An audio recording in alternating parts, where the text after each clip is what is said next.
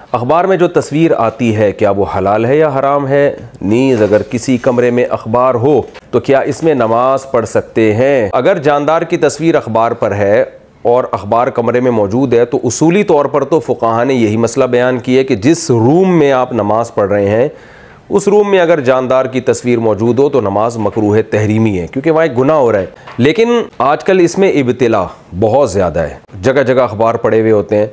तो इसलिए गुंजाइश वाला कॉल इख्तियार किया जाता है। गुंजाइश ये कि तस्वीर अगर नीचे पड़ी हुई हो या ऐसे ही, यानी रखी हुई हो कहीं और बाकायदा प्रॉपर दीवार पे ना लगी हुई हो तो फिर वहाँ नमाज़ पढ़ने की गुंजाइश है। क्योंकि आजकल हर जगह मैगज़ीन और लिटरेचर होता है जिसमें तस्वीरें होती हैं, इंसान कहाँ तक बचे और कहाँ तक उनको काटता रहे।